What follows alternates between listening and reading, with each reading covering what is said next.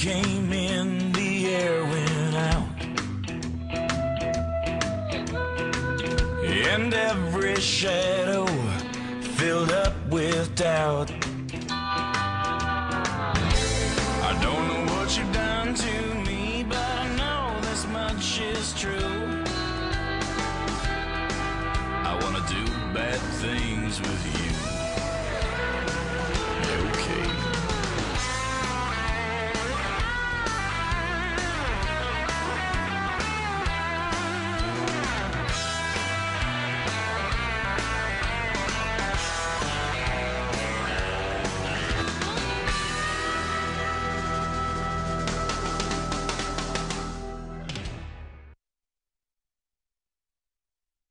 nevicata degli ultimi giorni ha mostrato una Roma bloccata, immobilizzata davanti all'emergenza. Alemanno ha detto che la città non era pronta a far fronte alla neve, lo ha definito un fatto straordinario e quindi spettava alla protezione civile intervenire. La neve è stato l'ultimo episodio. Tante in questi anni le emergenze, le situazioni a cui la Roma di Alemanno non ha saputo reagire e dare risposte. Ad esempio la pioggia dello scorso ottobre, la città bloccata dall'apertura di un nuovo punto vendita, la giunta comunale azzerata a causa della sentenza del TAR o gli infiniti lavori della metro C. Alemanno ha anche dimenticato di avere tra i suoi abitanti ragazze e ragazzi che si sentono lontanissimi dai propri coetanei residenti nelle più grandi città europee. Insomma, non si è parlato di politiche giovanili in questi quattro anni. Eppure l'Università Romana La Sapienza è l'ateneo più grande d'Europa per numero di iscritti. I quartieri di San Lorenzo e Tiburtina sono oramai diventati centro della vita dei giovani studenti, in buona parte fuori sede. Roma è una città in continuo movimento, si incontrano culture, lingue, tradizioni,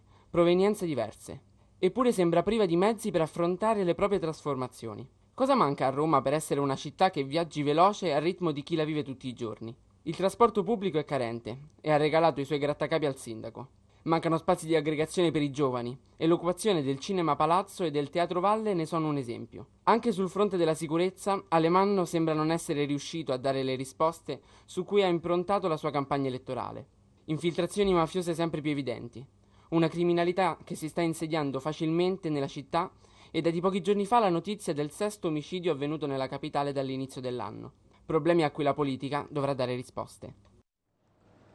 Buonasera e benvenuti a una nuova puntata di Agenda Italia Giovani. Come avrete potuto notare dalla nostra copertina di Flavio Conia, il tema di oggi in realtà sembra un tema un po' forse localistico, un po' troppo forse lontano da eh, un network nazionale, da una rubrica come la nostra, ma in realtà eh, Roma oggi come oggi appare sempre di più come un tema di carattere nazionale, non solo per le nevicate e per il freddo polare. Eh, su tutti i giornali oramai si parla di Roma da, da tanti punti di vista, sia per per quanto riguarda appunto il tempo climatico di questo periodo. Oggi eh, è prevista eh, per le prossime ore appunto un'altra eh, copiosa nevicata, ma si parla anche di Roma per eh, le sue tante contraddizioni, per i suoi tanti problemi e per un po' un degrado che eh, secondo molti effettivamente si sta registrando in questa particolare fase per Roma. Cercheremo nel nostro spazio di cercare di capire il punto delle giovani generazioni eh, da questo punto di vista e quale ruolo possono avere appunto appunto le giovani generazioni eh, i giovani anche amministratori del Partito Democratico eh, in questo eh, complesso eh, argomento. Eh, iniziamo appunto presentando i nostri tre ospiti che appunto presento, Francesco Di Giovanni che è coordinatore del 17,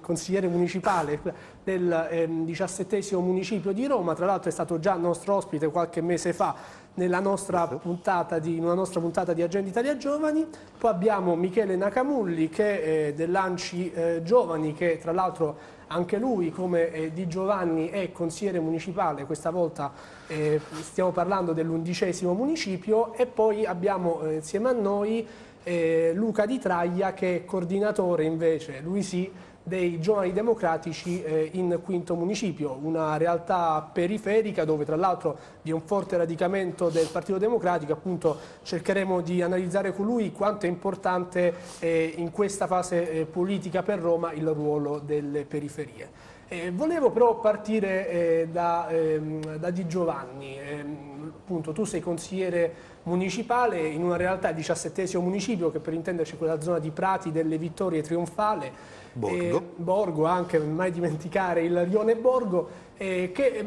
volevo semplicemente chiederti in queste fasi particolari per la città di Roma, ieri il ministro Cancellieri ha fatto notare che insomma, da 30 anni non si registra un freddo di questo tipo, quali sono le reazioni della popolazione, i cittadini, quali riscontri hai avuto sui cittadini eh, per quanto riguarda questo clima abbastanza polare? Senz'altro lo stupore. Il primo stupore è stato quello appunto di vedere una nevicata a Roma eh, così copiosa che non si vedeva appunto da 30 anni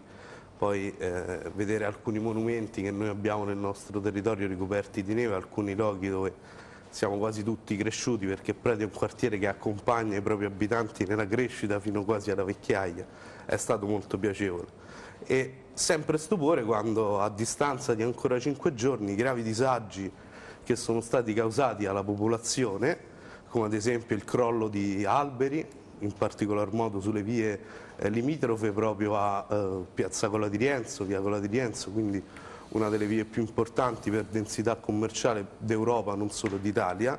Vedere ecco, questo degrado e questa non cura da parte del Comune ha senz'altro creato una reazione di stupore nei, nei cittadini.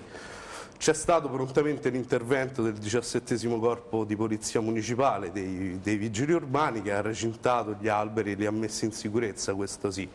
Eh, il problema secondo me eh, all'interno di questa emergenza è stato il non fidarsi del sindaco Lemanno proprio dei municipi di Roma. Se eh, l'emergenza, la crisi fosse stata decentrata già direttamente sui municipi, i presidenti, i consiglieri, la giunta ma anche gli stessi vigili urbani, gli stessi corpi distaccati sarebbero potuti intervenire con molta più solerzia e molto meno, creando molto meno disagi alla popolazione. Quindi questo è stato un po' il senso generale che ho potuto registrare in queste ore difficili perché eh, abbiamo lavorato molto, eh, anche 14 ore al giorno appunto per fronteggiare questa, questa emergenza. Eh, quindi giustamente si pone un tema legato ai rapporti tra Alemanni, il Comune di Roma e la protezione civile, ma come hai detto giustamente c'è anche un tema legato al Comune di Roma e il suo rapporto con i municipi. Eh, Michele Nacamulli, tu appunto ti occupi anche eh, della sezione giovanile, possiamo dire così, dell'ANCI, dell'Associazione Nazionale dei Comuni Italiani, ma appunto abbiamo detto sei anche consigliere municipale. Il tuo municipio è stato eh, protagonista, possiamo dirlo nel vero senso del termine, di una bella iniziativa eh, anche di volontariato volontariato, possiamo dire, o comunque un'iniziativa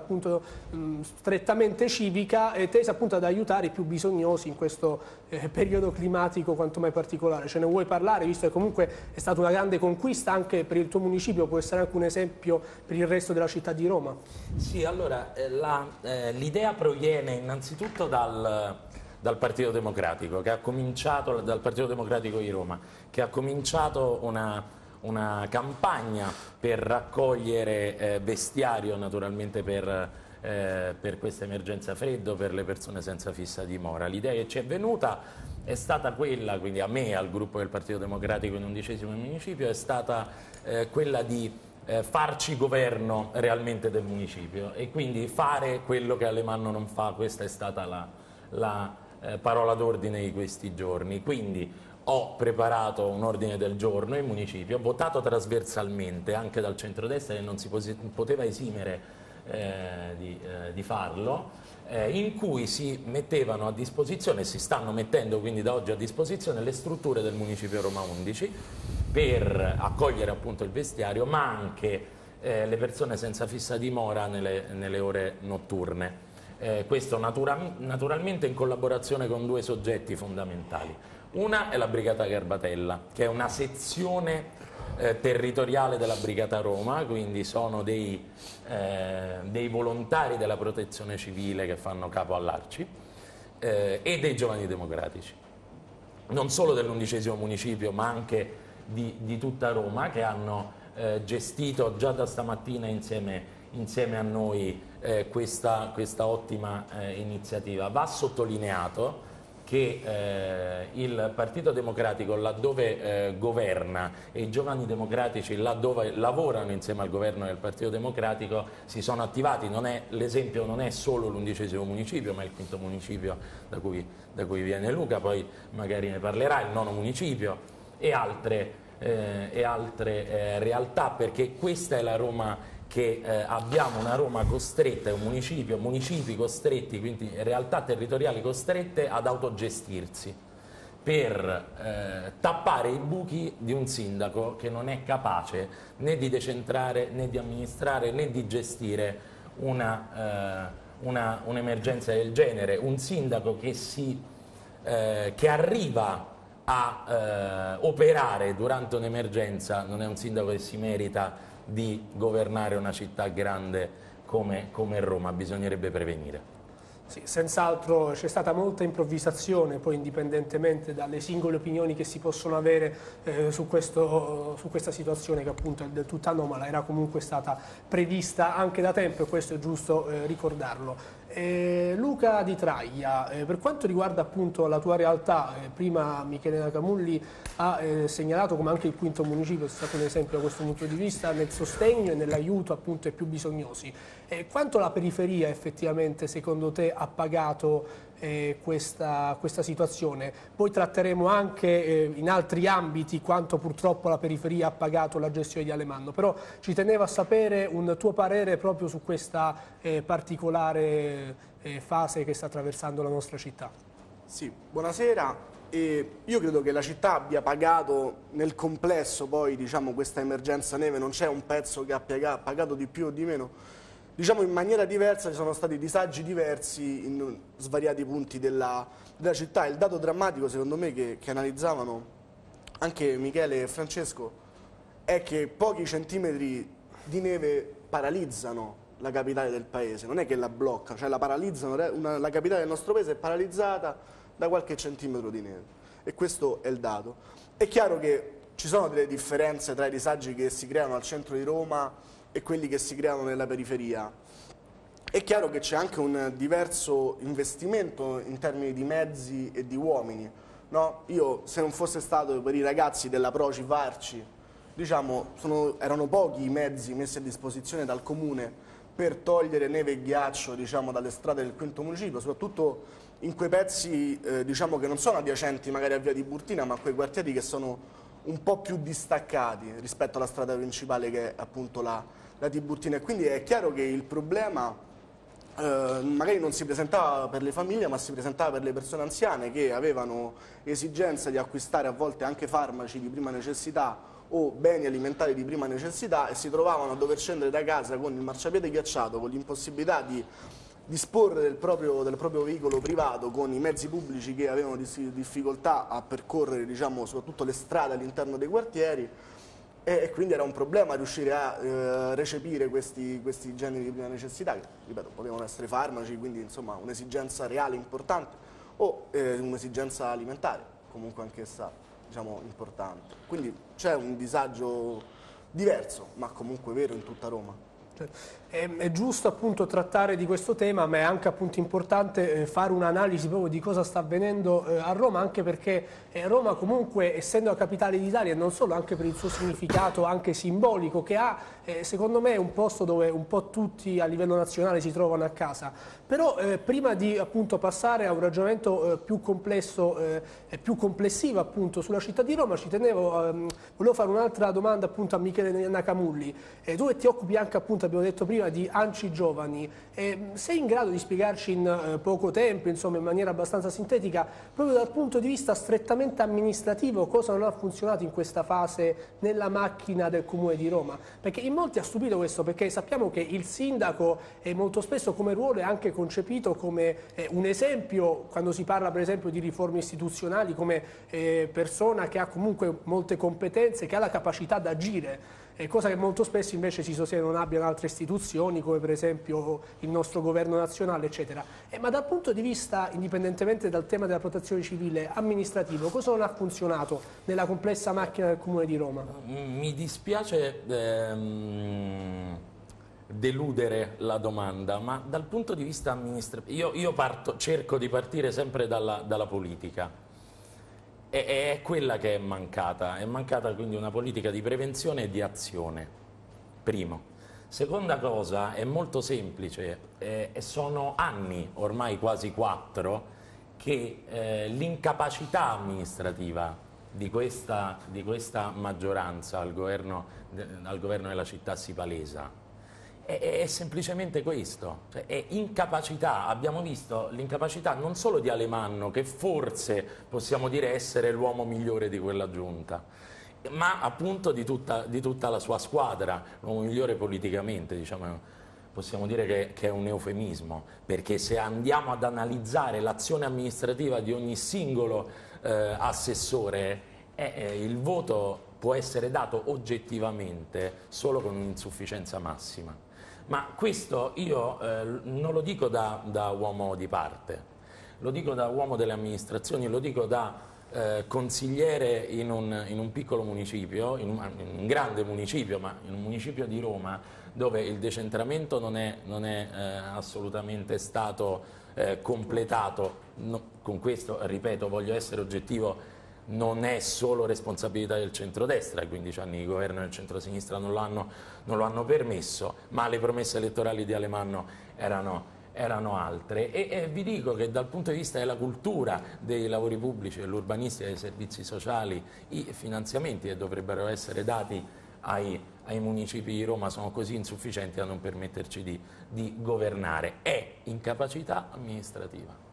Sì, senz'altro in questo poi ci sono molte ripercussioni, dal politico ci sono molte ripercussioni in tutti gli ambiti appunto certo. della città di Roma. E vogliamo analizzare, ed è anche un po' il nostro dovere, considerando la vocazione, la mission del programma, anche il tema delle politiche giovanili e vogliamo farlo iniziando con un eh, video, con un contributo del nostro Edoardo Ercolessi che ha intervistato eh, il membro della Commissione Politiche Giovanili del Comune di Roma, eh, Giulio Pelonzi. Stiamo vivendo dei giorni difficili a Roma, nel resto del Lazio e in gran parte d'Italia, ma certo che ciò che è accaduto negli scorsi giorni nella capitale d'Italia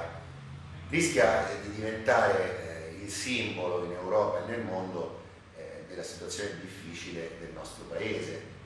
e questo non fa altro che portare danno di immagine alla città di Roma. Qual è stato l'errore? Aver sottovalutato i dati chiari della protezione civile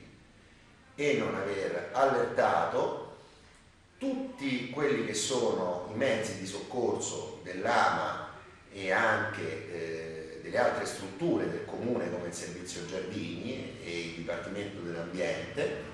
non aver richiamato al lavoro eh, più dipendenti per affrontare questa emergenza e soprattutto non avere attivato il tavolo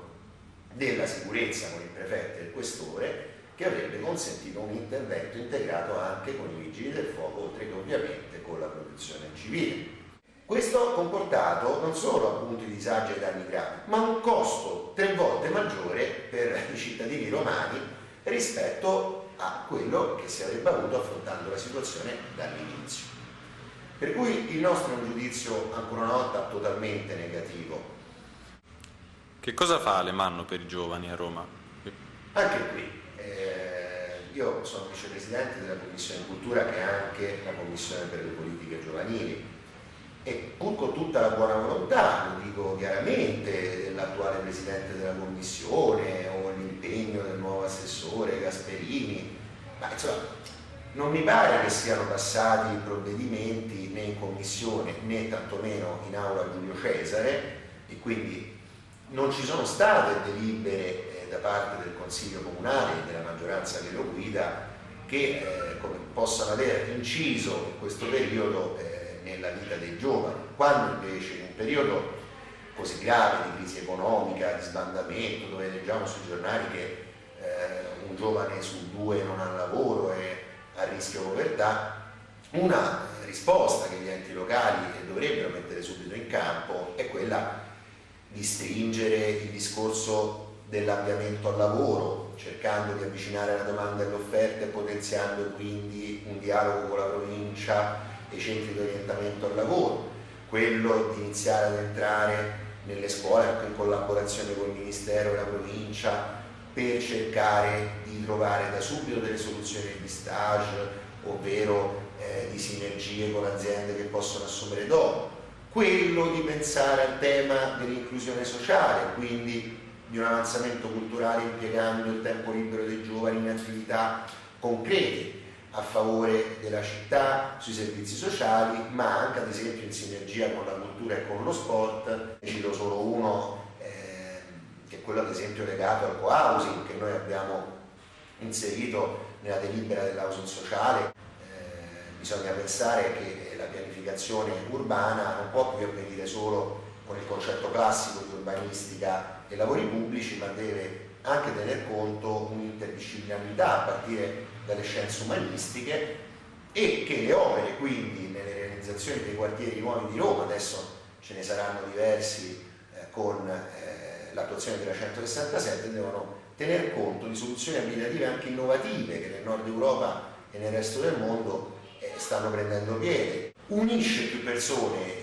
una stessa, una stessa abitazione ovviamente costruita con soluzioni architettoniche ad hoc e dentro ci metti i servizi e quindi dall'asilo al centro, al teatro sperimentale,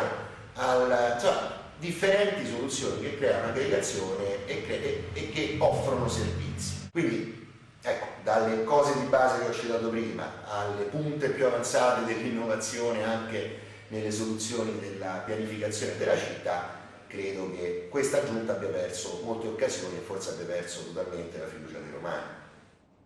E quindi abbiamo visto che tra tanti problemi e le contraddizioni della Roma di oggi vi è il tema appunto delle politiche giovanili. Eh, Luca Di Traglia, secondo te proprio su questo argomento, su questo tema, eh, quali sono gli aspetti che più hanno colpito i giovani nella tua realtà ma non solo? No, è chiaro che a Roma esiste un tema giovani. Esiste un tema giovani in quanto esiste un problema di spazi associativi e ricreativi dedicati ai ragazzi. Se noi prendiamo diciamo, l'elenco dei centri anziani presenti a Roma, diciamo, il dato che ci viene subito all'occhio è il fatto che per 40 centri anziani, diciamo, mm, più o meno in un quadrante come quello est, ci sono forse uno o due centri di, di aggregazione giovanile. Ed è chiaro che laddove manca, diciamo, soprattutto nelle periferie, un centro di aggregazione giovanile che può essere l'Arci, che può essere, mi viene in mente una sala prove, diciamo, ad uso gratuito, no? Laddove mancano questi, questi, questi, questi luoghi, è chiaro che i ragazzi poi vivono il marciapiede, no? Vivono il muretto, vivono il marciapiede e vivono quindi e vivono quindi la strada e soprattutto nei quartieri più periferici come San Basilio, non so se avete visto la presa diretta di Iacona, tre quarti era girata diciamo, in quinto municipio sulla parte diciamo, de, de la, in, cui si, in, cui affrontava il tema della macro e della microcriminalità. Quindi è chiaro che c'è una mancanza di questi spazi che non influisce soltanto sulla vita e sulla crescita personale del, del ragazzo, ma influisce proprio sulla vita del, del quartiere stesso perché si formano a quel punto sacche di, sacche di emarginazione, gruppetti, no? E quindi questo va a influire in maniera negativa poi su, su tutto il territorio, su tutto quanto il quartiere. Cioè, il pensare che i giovani siano una spesa e non un investimento è una politica che troppo spesso in Italia um, passa e il compito nostro come giovani democratici è sicuramente quello di non farla passare questa politica qua. È chiaro che non è mio, mia intenzione togliere i centri anziani alle persone della terza età, dopodiché però un investimento pari a quello deve essere fatto anche assolutamente sulle nuove generazioni e non può bastare sicuramente la scuola, perché oggi non basta più. Sì, anche su questo forse si percepisce una mancanza non solo di disegno complessivo per quanto riguarda la città di Roma, ma anche eh, l'incapacità forse in questo momento di fare rete su questo argomento. E appunto per questo volevo chiedere a Francesco Di Giovanni, eh, i municipi tra le altre cose hanno anche competenze, non tantissime forse, però hanno anche qualche competenza, qualche competenza residuale, possiamo dire così, per quanto riguarda le politiche eh, giovanili. Però appunto abbiamo parlato anche di decentramento, molto spesso il fatto che non si ha attui questo decentramento non aiuta eh, il lavoro di prossimità, non aiuta un lavoro territoriale come quello del eh, consigliere provinciale. Quanto danneggia questo sindaco un po' troppo accentratore?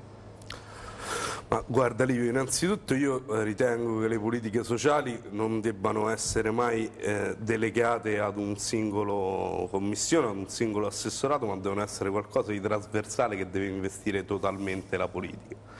Perché la prima domanda oggi a cui deve rispondere la politica e le istituzioni è proprio qual è il futuro dei giovani, in che direzione vogliamo andare, quali servizi vogliamo offrire e presentare un progetto di futuro a eh, ragazzi di 28 anni, 27 anni, di 20 anni come noi, eh, un- un'alternativa per quello che invece vediamo essere eh, un traguardo molto bieco verso cui stiamo andando.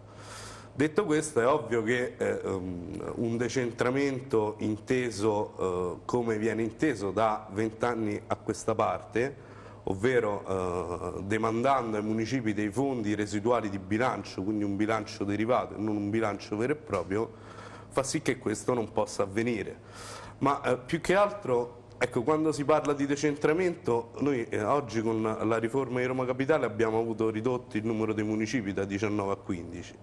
Ha senso questa riduzione? Mi chiedo. Beh, eh, non ha senso se i municipi rimangono quello che sono. Oggi i municipi sono portatori di prima istanza verso i cittadini, è il posto dove tu vai per rifare la carta d'identità, è il posto dove tu consegni una domanda se vuoi tirare su un muro perché ti è nato un figlio a casa, consegni una dia, è il posto dove tu chiedi e fai la domanda per, entrare, eh, per fare entrare tuo figlio all'asilo nido. Insomma, è un- uno sportello verso il cittadino che offre dei servizi ridurne il numero eh, sicuramente porta dei disagi ai cittadini romani.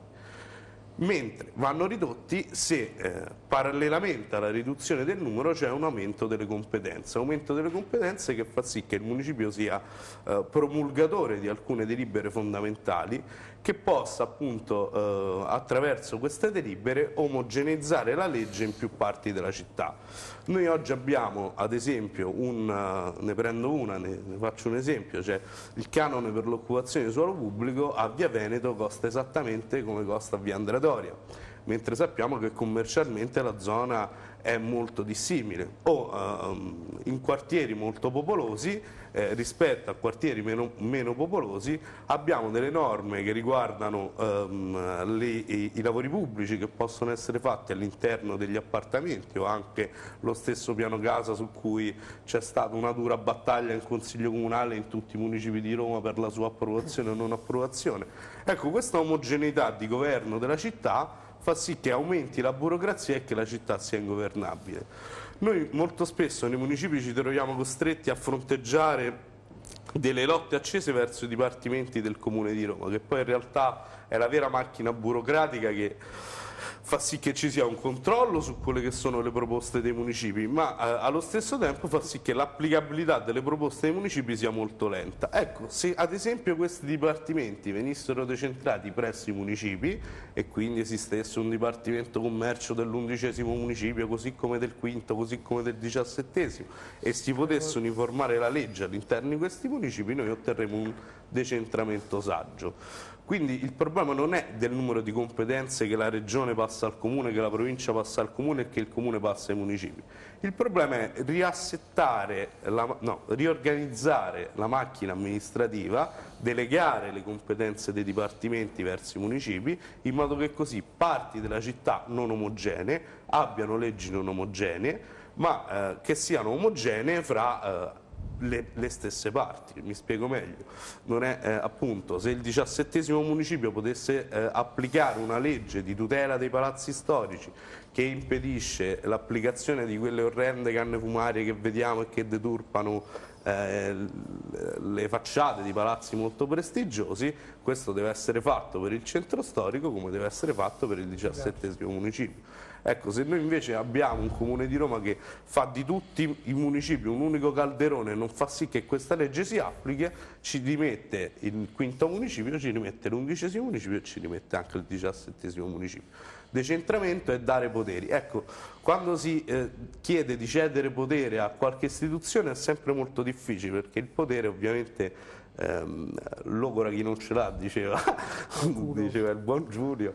ma ehm, in realtà è proprio chi non ce l'ha che dovrebbe averlo per eh, governare i propri cittadini. Poi ricordiamo, frase di Andreotti presa da Taglieran, esattamente per l'esattezza, precisazione, ma giusto Grazie, così per fare Livio. un po' Io- sfoggio di... i giovani democratici insomma, ci tengono a studiare. Ma torniamo a Roma, torniamo al nostro argomento eh, settimanale e volevo chiedere eh, a Nacamulli, abbiamo fatto forse un ritratto fosco, triste dell'attuale città di Roma, ma in realtà anche il passato lo testimonia, è possibile un'alternativa. Ecco, io eh, volevo chiederti, ehm, secondo te quali sono eh, gli ambiti, i settori su cui la Roma di Alemanno ha subito una regressione maggiore rispetto al passato, rispetto alla giunta di centrosinistra e se, eh, se c'è sta la possibilità di delineare uno scenario futuro sempre di questi ambiti di miglioramento per cercare appunto di migliorare la nostra comunità cittadina. Sì, allora, gli ambiti, eh, questa, questa, mh, questa, amministrazione comunale ha cominciato veramente male il suo, il, suo, il suo, cammino. Noi ricordiamo, penso tutti a livello nazionale, perché dobbiamo, dobbiamo capire appunto che Roma è una centralità nazionale, se non è la capitale. Eh, cominciando con la vittoria di Alemanno, abbiamo tutti visto in Italia le braccia tese anticostituzionali inneggianti al fascismo, eh, che festeggiavano la vittoria di un sindaco che dovrebbe essere di tutti. Ha cominciato male già così, non è un discorso amministrativo, ma è un discorso di immagine che si dà della città, una città di parte e, e questo è, è eh, sbagliato. Ci rendiamo conto che durante questa emergenza freddo il sindaco non si è occupato di nulla se non di andare in televisione a polemizzare con altri enti oppure di eh, invogliare i cittadini a non fare fotografie ma a spallare la neve invece di farlo lui un atteggiamento assolutamente irresponsabile. Ci rendiamo conto che in commissione parlamentare antimafia per la prima volta si parla di Roma e delle infiltrazioni mafiose come diceva il, il servizio di Flavio Conia che abbiamo visto eh, delle infiltrazioni mafiose, soprattutto della Camorra, in primo municipio, quindi nel centro di Roma, un quarto degli esercizi commerciali sembrano essere controllati dalla, eh, dalla criminalità organizzata. Ci rendiamo conto che i, ehm, gli episodi di violenza di estrema destra correlati con la criminalità organizzata sempre più presente a Roma sembra farci ritornare ai tempi di romanzo criminale degli anni 70. Eh, questa è una città distrutta in soli quattro anni. Per costruire ci vogliono 15 anni, per distruggere ci è voluto nulla. Ora, l'obiettivo, questa trasmissione si chiama Agenda Italia Giovani, quindi l'obiettivo delle nuove generazioni sia in un partito che nelle, nelle amministrazioni è quella di unirsi in un patto generazionale. È già successo, la sinistra ha perso a Roma nell'85 e c'è stato chi intelligentemente si è messo intorno a un tavolo, anche se non aveva nello stesso partito le stesse, le stesse idee, ha studiato e si è formato per cinque anni per poi negli anni 90 prendersi la città, cambiarla totalmente, farla diventare una metropoli di stampo, di stampo europeo e eh, portarla eh, a, eh, ad un'amministrazione che sì, forse non era non era perfetta ma era assolutamente diversa da quella che ci ritroviamo adesso. È come chiedere a Obama se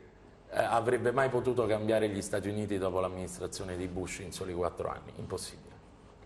Certo, e poi tra l'altro eh, si parla anche a proposito del cambiamento di Roma molto spesso del famoso decreto Roma Capitale che poi ha subito eh, un, diciamo, il suo iter, si è anche abbastanza velocizzato eh, a seguito di un Ehm, della nascita di un governo che non aveva tra i suoi membri una forza politica come la Lega Nord. E volevo chiederti sempre a te Michele ehm, in maniera appunto sintetica secondo te alcuni eh, accusano questo decreto di essere un po' una scatola vuota perché sposta delle competenze ma poi tecnicamente non fa in modo che il eh, cambiamento sia veramente eh, tangibile. Eh, alcuni sostengono che a parte la carta intestata, a parte la scritta sotto impressione Gianni Alemanno sindaco di Roma capitale, anziché sindaco di Roma, in realtà eh, non cambi nulla. E cosa ne pensi di questo tema? Ha già detto moltissimo Francesco, eh, moltissimo, ha anche dato degli spunti interessanti. Ehm, Roma capitale dovrebbe essere alla stessa di, stregua di Washington, insomma uno Stato praticamente. Eh, il sindaco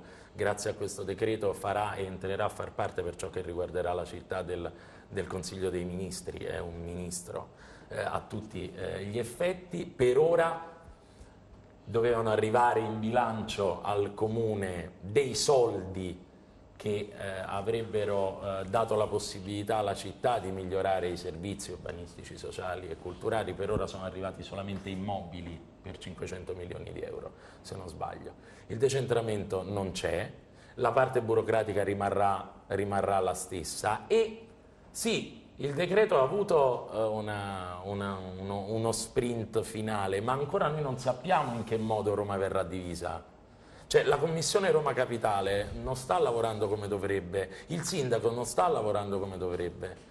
E, io mi chiedo quindi qual è il dovere di chi segue questo decreto se non quello di chiarire come finirà la nostra città sia da un punto di vista legislativo, burocratico che amministrativo. No, chiarissimo, chiarissimo, veramente. Ehm, tra eh, i vari temi, tra i vari argomenti eh, c'è il tema anche della violenza e della sicurezza che senz'altro colpisce Roma e colpisce anche chi non risiede a Roma e segue con attenzione eh, le vicende eh, di cronaca. Eh, è una violenza un po' generalizzata, colpisce soprattutto anche in, nei quartieri centrali, ciò ha stupito molti anche all'esterno della città di Roma e colpisce molto questo aspetto, ma è anche una violenza che, lo diceva anche prima Nakamuri, si rifà politica in questi tempi. Io volevo chiedere eh, a Luca se poteva darci il suo contributo da questo punto di vista. Eh, nel suo municipio il Quinto, se non ricordo male, addirittura sono comparse scritte eh, molto minacciose di stampo eh, fascista eh, nei confronti appunto del, dei giovani democratici. Eh, si parlava prima di romanzo criminale e dagli anni 70 che eh, non si vedono cose di questo tipo. No, sì, è, è chiaro che in alcune parti della città c'è un clima differente rispetto al clima che si vive magari all'interno del centro storico, non che nel centro storico non ci siano stati episodi di violenza, mi viene in mente il ragazzo omosessuale aggredito a Via dei Serpenti, no? Tranquillamente. È diverso il clima che si crea, perché laddove ci sono sacche profonde di disagio sociale, è chiaro che l'estrema destra lì trova la sua linfa, lì trova la sua manovalanza. Si parla di ragazzi che stanno all'interno delle palestre popolari di estrema destra e le scritte diciamo, che sono state fatte nel nostro territorio, in quinto municipio, eh, vengono diciamo, dal municipio limitrofo, cioè in seguito all'aggressione dei giovani democratici di Talenti insieme al capogruppo Marchionne ehm, e la denuncia che poi è seguita a quell'evento, eh, il blocco studentesco e Casa Pound hanno pensato bene di imbrattare non solo il quinto municipio, ma tutta quanta Roma con queste scritte a carattere puramente minatorio, cioè con l'intento di, dir, di dirci attenti, noi stiamo qua, non è vi teniamo sott'occhio, sappiamo chi siete, dove state, non a caso sono comparse le scritte ad esempio in Tiburtina, nei licei dove stiamo noi come giovani democratici, dove abbiamo i nostri rappresentanti d'istituto non sono andati in altri licei, in altri istituti a farlo, sono andati in quei due o tre licei dove eh, sono consci del fatto che la sinistra è più forte. E volevo però, volevo però un secondo riprendere un po' il discorso che faceva anche, anche Michele prima. Noi abbiamo un'esigenza, secondo me, a Roma sulle periferie e noi giovani democratici nel nostro piccolo abbiamo provato a farlo, cioè noi dobbiamo riaccendere i riflettori della città sulle periferie Fin quando le periferie restano nell'ombra, allora possibile, saranno possibili situazioni come il V2 a San Basilio, dove le forze dell'ordine non possono entrare. No? Questo perché ci sono i riflettori spenti, cioè là non si sa quello che, che, che cosa accade in quei pezzi di territorio. E quindi è necessario che una sana politica per la legalità ripristini il clima di tranquillità necessario tra le varie forze politiche,